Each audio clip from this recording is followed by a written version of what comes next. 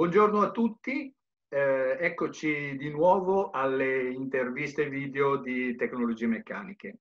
Eh, un'occasione per confrontarsi con eh, i principali operatori del settore della macchina utensile sugli argomenti di attualità, mercato, innovazione tecnologica, servizio, un po' tutte quelle che sono le problematiche legate nel periodo attuale al mondo della macchina utensile. Eh, ai nostri microfoni oggi abbiamo il piacere di avere l'ingegner Paolo Egalini, amministratore delegato di Jobs, che ringraziamo della sua presenza tra noi. Con lui vogliamo affrontare alcune delle problematiche importanti del settore e anche come Jobs in questo momento le sta direttamente affrontando. Eh, buongiorno ingegnere e benvenuto. Ingegnere Zibetti, buongiorno. Bene, cominciamo subito con eh, la prima domanda. Abbiamo vissuto, e in parte sicuramente stiamo ancora vivendo, un periodo decisamente complesso dovuto alla pandemia del Covid-19. Dopo un periodo di blocco di tutte le attività delle, delle imprese, eh, siamo nella fase ormai di riapertura, eh, ormai da più di un mesetto. Bene, come sta affrontando in questo, questo periodo Jobs e quali iniziative ha messo in atto per riprendere la corsa del mercato e stare vicino ai propri clienti?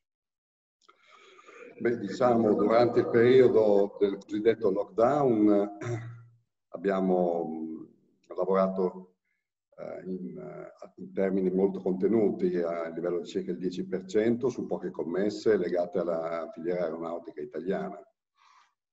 Alla ripartenza abbiamo fatto una campagna di tappeto di esami serologici su tutta la popolazione aziendale in modo da mettere in sicurezza sia i nostri dipendenti che quelli dei nostri clienti. Durante questo periodo ci ha aiutato la presenza delle nostre filiali in Germania, Francia, Stati Uniti e Cina e questo ci ha permesso di garantire supporto di service e la continuazione di alcuni cantieri in essere in queste aree. Attualmente lo stabilimento sta operando al 75% della potenzialità Stiamo utilizzando lo smaltimento ferie, eh, anche la, la, CIGO, la cosiddetta CIGO Covid, che eh, riteniamo di eh, utilizzare nell'arco di tempo in cui questa eh, sarà utilizzabile, quindi in principio la, nella seconda metà di quest'anno. Ehm, alla riapertura che è avvenuta, come giustamente ricordava lei, un mese fa, anzi ormai anche un mese e mezzo, eh, abbiamo cominciato eh, naturalmente a, a, anche a muoverci per quanto nei limiti dei possibili delle modalità concesse in un contatto con i clienti, ma eh, durante periodi di, diciamo, di restrizione strumenti di contatto remoto con i clienti sono stati ampiamente utilizzati, li utilizziamo parzialmente ancora oggi e le visite sul, dai clienti sono ancora oggi fortemente concentrati sul mercato italiano, visto che soltanto da metà giugno si sono aperte le possibilità di andare a muoverci nell'ambito di alcuni, non tutti i paesi della comunità europea.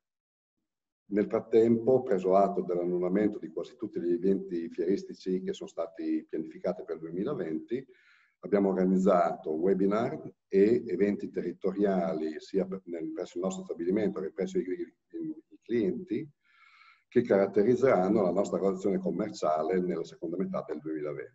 Dal suo punto di osservazione a questo punto, vista questa situazione sicuramente complessa, quali sono le sue previsioni seconda, per la seconda parte del 2020 e per l'inizio del 2021? In particolare, quali settori applicativi che potrebbero essere più sensibili all'investimento e in questo caso quali le azioni che sta facendo Jobs in questo ambito? Dunque, eh, Certamente la, la, reazione del mercato per quanto riguarda l'aspetto degli investimenti e non dei consumi è, è, una ripresa più lenta rispetto a quella dei consumi e il fattore di impatto del Covid è maggiore rispetto a quello dei consumi. Ci aspettiamo nella seconda metà del 2020 un, re, un recupero rispetto al periodo marzo-giugno, ma questo non ci, non ci, permetterà di recuperare eh, il terreno perso ci aspettiamo per il 2020 su base annua una riduzione di circa il 30% della dimensione del business che gestiremo.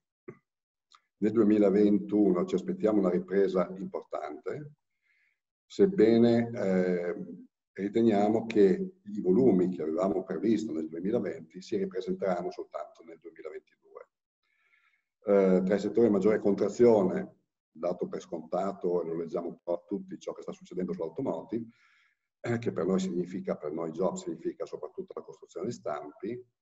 Eh, l'altro settore sul quale stiamo constatando una, una riduzione piuttosto importante è quello dell'aeronautica la cui ripresa non è prevedibile prima di un anno rispetto ad oggi.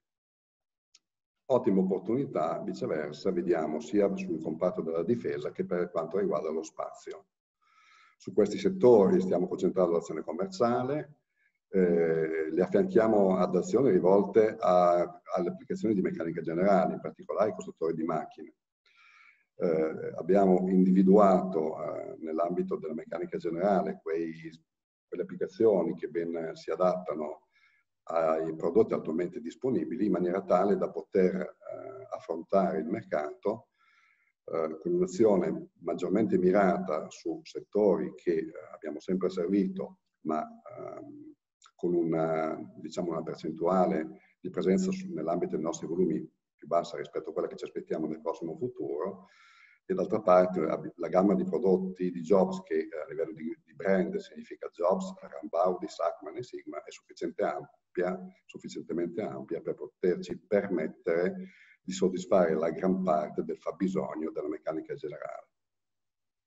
Benissimo. Eh, dai settori applicativi passiamo ai mercati. La pandemia ha colpito praticamente tutto il mondo senza risparmiare nessun'area geografica. Bene, in ottica di mercati, quali a suo avviso potrebbero avere eh, nel prossimo futuro qualche opportunità in più e quelli invece che potrebbero essere più difficili eh, vista la situazione? La Cina è stata la prima a ripartire e, e la stessa aeronautica in Cina eh, viene e verrà alimentata da importanti progetti per la costruzione di aerei, chiamiamoli locali, come il C919 e il C929 quest'ultimo sviluppato in partnership con la Russia. Quindi Cina è certamente un'area di enorme attenzione eh, sulla quale abbiamo anche una struttura organizzativa piuttosto forte, abbiamo una filiale con più di 15 persone. Gli Stati Uniti hanno importanti iniziative in, cor iniziative in corso, la finalizzazione è oggi bloccata dalla difficile situazione del Covid. Riteniamo che la ripartenza sarà forte in quell'area, sebbene posizionata sulla fine di quest'anno. Eh, per quanto riguarda l'Europa, la Francia ci mostra buone prospettive legate sia all'aerospaziale che all'energia che al ferroviario. Vediamo nella Russia un'importante alternativa, tra virgolette, rispetto ai mercati europei che ancora stentano a mostrare solidi segnali di ripresa. Quindi, in sintesi, Cina già oggi, Stati Uniti verso la fine dell'anno, nell'ambito della comunità europea, la Francia, quelle che può, per quanto riguarda i settori ai quali ci rivolgiamo, mostrare l'opportunità più importante è Russia. Grazie. Eh, passiamo eh, ora all'argomento eh, di innovazione e di tecnologia. Sicuramente i periodi di crisi mh, sono un'occasione per tutti per ripensare e per eh, ragionare su quelle che potrebbero essere l'innovazione di prodotto e l'innovazione di processo all'interno delle aziende su quali strade si sta orientando Jobs anche cogliendo quelle che sono le esigenze specifiche del mercato. Quindi eh, dove si sta andando dal punto di vista dell'innovazione?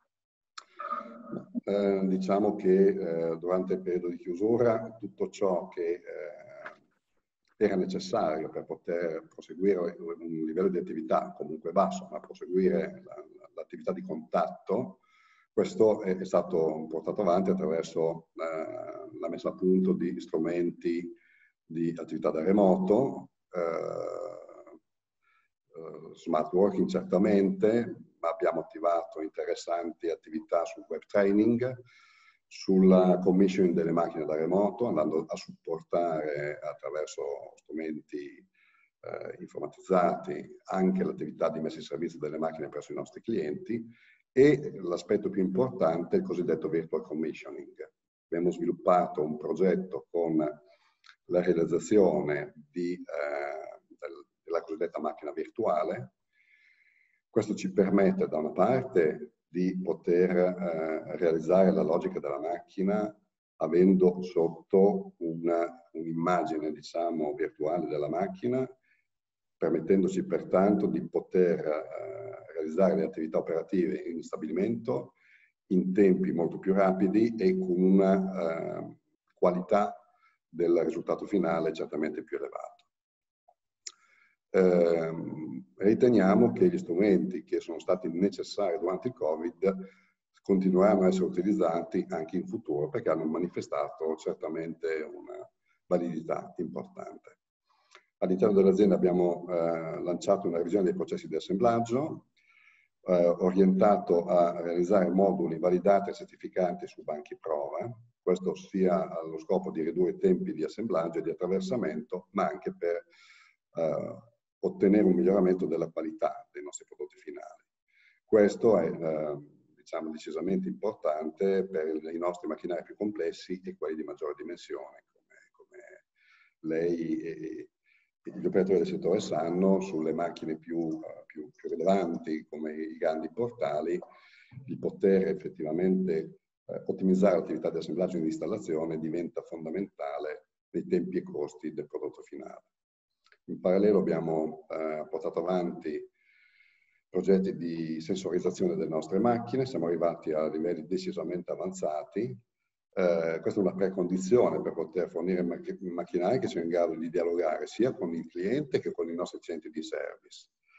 Eh, naturalmente il fatto di avere poi presso di noi la cosiddetta macchina virtuale, eh, possiamo effettivamente realizzare attività di diagnosi per quanto riguarda la macchina reale installata presso i clienti, ottimizzando le performance eh, della macchina attraverso azioni che vengono guidate dalle capacità predittive dei software che abbiamo implementato al nostro interno. Benissimo, grazie mille Ingegnere Galini, come al solito risposte puntuali e precise. Eh, ringraziamo anche i nostri lettori diciamo, che ascolteranno questa, questa intervista e eh, diamo appuntamento a loro alla prossima inter video intervista di tecnologie meccaniche. Grazie a tutti e buona giornata. Grazie. Buona giornata a tutti. Grazie.